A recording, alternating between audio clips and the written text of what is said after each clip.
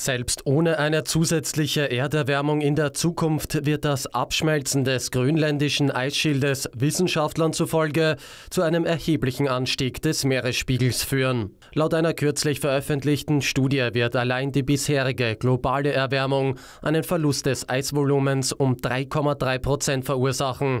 Das würde wiederum zu einem Anstieg des Meeresspiegels um über 27 Zentimeter führen. Die Autoren der in der Fachzeitschrift Nature Climate Change publizierten Untersuchung geben zwar keinen genauen Zeitrahmen an, doch könnte der größte Teil dieser Entwicklung den Forschern zufolge bis zum Jahr 2100 geschehen. Damit würden bisherige Prognosen das Risiko für dieses Jahrhundert unterschätzen. In einem Bericht aus dem vergangenen Jahr etwa geht der Weltklimarat IPCC in seinem Szenario mit dem höchsten Treibhausgasausstoß von einem Anstieg des Meeresspiegels um 18 cm bis zum Jahr 2100 aus. Bei den schockierenden Ergebnissen der nun veröffentlichten Studie handelt es sich zudem um die Untergrenze, da die Schätzungen eine zukünftige Erderwärmung nicht mit einbezogen haben.